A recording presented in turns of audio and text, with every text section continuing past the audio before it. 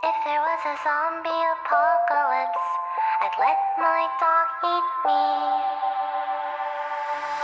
Let's start.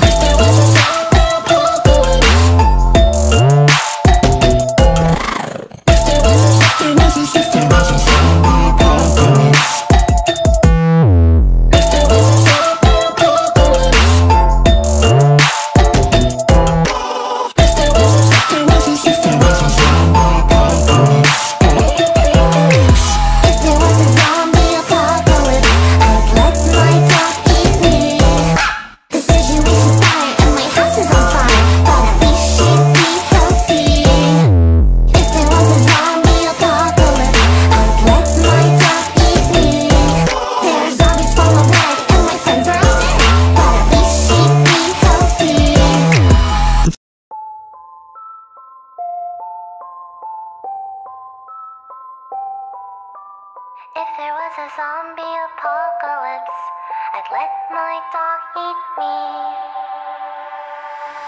Let's start with the thighs, where the fatty part lies.